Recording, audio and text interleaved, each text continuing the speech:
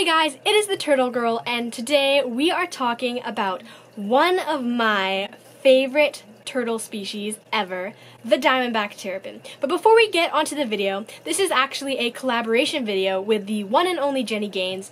She is another animal YouTuber and she does a lot of cute, adorable, and educational um, animal and reptile videos, and she owns a lot of cool reptiles and other animals. She is also doing a video about diamondback terrapins and their history, so definitely once you're finished with this video, check that video out, show her some love, tell her I sent you, and yeah, let's learn about diamondback terrapins. So this is going to be a more species-specific care video of diamondback terrapins. I'm just going to assume that you already know the basics of like how big your tank needs to be, that you already know about filtration and basking basics and that type of thing. So we're just going to focus on some of the more unique requirements of diamondback terrapins specifically. So first of all, let's just talk some general stuffs about diamondback terrapins. So diamondback terrapins are a medium-sized turtle. They usually fall in a spectrum of between 4 inches to about 9 or 10 inches, and the males tend to be a little bit smaller than the females, so males usually end up being 4 to 6 inches, and females 7 to 9 or 10ish. As for tank size, diamondback terrapins are just like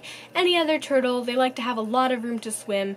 They are very great swimmers, even as babies. They can handle deep water, so you don't have to worry about that. And they also love to bask, so make sure to give them a good basking area with their heat and UVB in order to keep their shell and skin healthy, and this is also very crucial because they can be a little bit more sensitive to water quality. They are a very beautiful turtle, as you can see. That's why they are actually one of my favorites. They usually have a light toned skin, like that's usually white and sometimes this has some cool patterns on it of dots and lines and their shells are also really pretty they have some cool little uh, knobs on them and these also can look different. There's actually seven different subspecies of diamondback terrapin. So you can see here, this is actually my one-year-old diamondback terrapin Hoku. He's a northern diamondback terrapin, so that is one of the subspecies. And one of the most unique things about diamondback terrapins is that because they live in the marshes on the east coast, is that they are actually brackish water turtles. And so what this means is is that they prefer to live in an environment where their water is both a mixture of salt water and a mixture of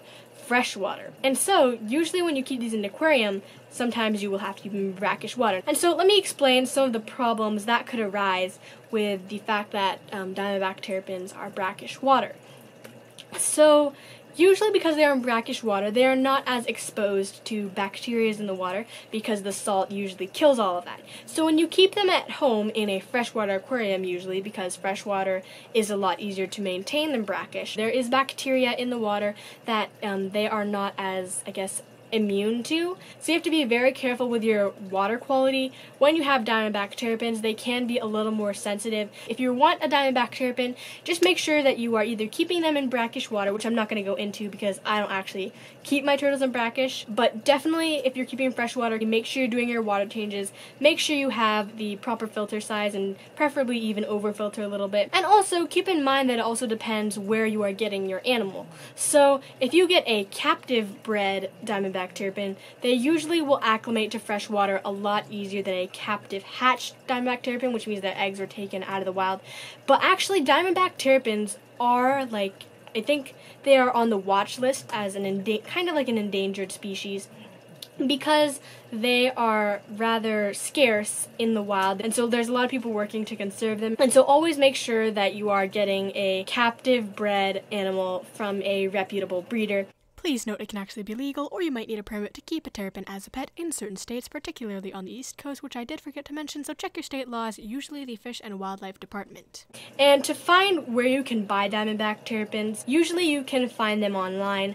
I found quite a few breeders on Instagram, not so much on certain like classified, so like the king snake classifieds or fauna classifieds. I haven't seen much of diamondback terrapins on there, but if you search around on Instagram and other Facebook turtle groups, Usually you can find a breeder of diamondback terrapins. I will link a couple good ones in the links below. And as for feeding, diamondback terrapins are majorly carnivores. In the wild, their diet consists of crabs, snails, fish, uh, shrimp, and so they really like their meats. Their staple diet will be a regularly formulated turtle pellet, but they really love um, extra treats So I like to offer Diamondback terrapins live guppies, live feeder guppies to chase around. That's really great enrichment for them to hunt and eat fish, and that's also some of the extra protein that they love. And also snails. Another interesting thing about Diamondback terrapins is that they have a very, very strong jaw because naturally in the wild they have snails and crabs and shrimp, and so they have to be able to break those shells. And actually, their jaw and their what's called their crush plate on the inside of their mouth. You have to feed them crunchy foods in order to actually wear down that crush plate. Um, so crunchy foods like snails, and you can even offer things like cuttlebone. And another thing that you can do to help with this crush plate is you can actually put crushed coral in your aquarium, and this is a substrate that some people use in order to um, what's called buffering the pH. When you use crushed coral as a substrate, the diamondback terrapin will actually eat it, and this will help keep the diamondback terrapin's crush plate in check. But I think that's pretty much it about Diamondback Terrapin. Just make sure you're really keeping an eye on that water quality if you are not using brackish water, and also make sure you are keeping an eye on that crush plate, and remember that they like a lot of protein. So thank you guys so much for watching. I hope you enjoyed the video and learned something about Diamondback Terrapins, and if you want to see more stuff about Diamondback Terrapins, definitely check out Jenny's video, and go ahead and drop a comment there and tell her I sent you, and I will see you guys next Friday. Have a totally awesome day. Bye!